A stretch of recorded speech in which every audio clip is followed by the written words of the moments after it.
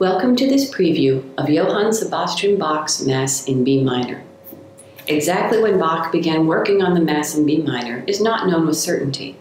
However, scholars generally agree that between August 1748 and October 1749, Bach gave the work his most devoted attention. That does not mean, however, that Bach composed the Mass in B minor in that short span of time. In fact, Bach had composed portions of the Mass much earlier. For his second Christmas in Leipzig in 1724, Bach composed a Sanctus in D major. This Sanctus will eventually become part of the B minor Mass. Similarly, Bach composed a Missa, Kyrie and Gloria movements, that was offered to Frederick August II, Elector of Saxony, in the summer of 1733. Bach hoped to receive a court title and promised to compose more Kyrie Gloria settings for the Elector's court in Dresden.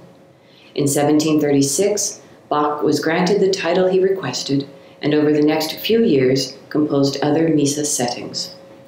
These compositions may have sparked Bach's musical imagination, because in the 1740s he began experimenting with different ways to set the first line of the Credo, the third movement of the Mass. These many years spent setting some Mass texts, like the Kyrie, Gloria, and Sanctus, and studying others, came to fruition in the late 1740s with the Mass in B minor.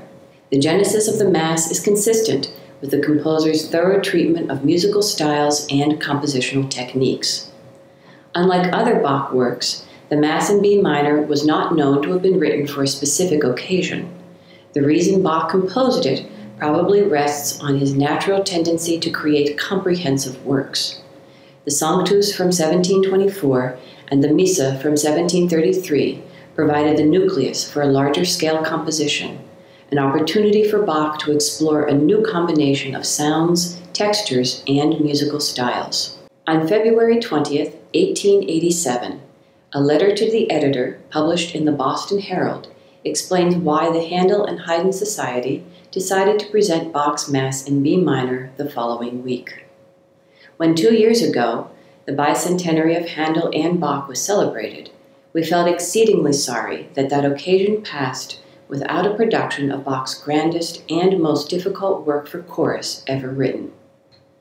The challenges and rewards of experiencing Bach's Mass were not lost on the 19th century performers or audiences, and today the B minor Mass is still regarded as one of the grandest and most difficult works for chorus ever written.